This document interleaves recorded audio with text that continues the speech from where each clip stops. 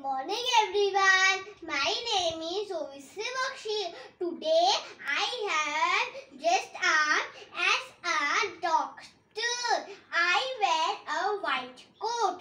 I work in a hospital.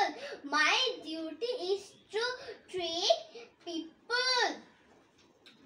This is called stethoscope which I use to check the heartbeat of people. I give you medicines to cure your illness. If it is necessary, I use injection.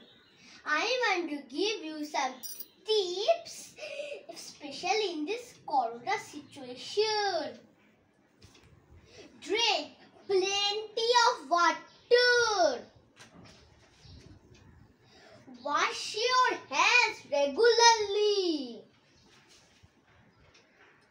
Sleep properly at least 8 hours. Do exercise like yoga. Okay. Eat healthy food, no junk food. Eat healthy food like green vegetables, lots of flu- fruits, egg, fish. Okay. And and stay home. Do not go outside. If it is very necessary, go outside. But take masks and hand sanitizer. Okay.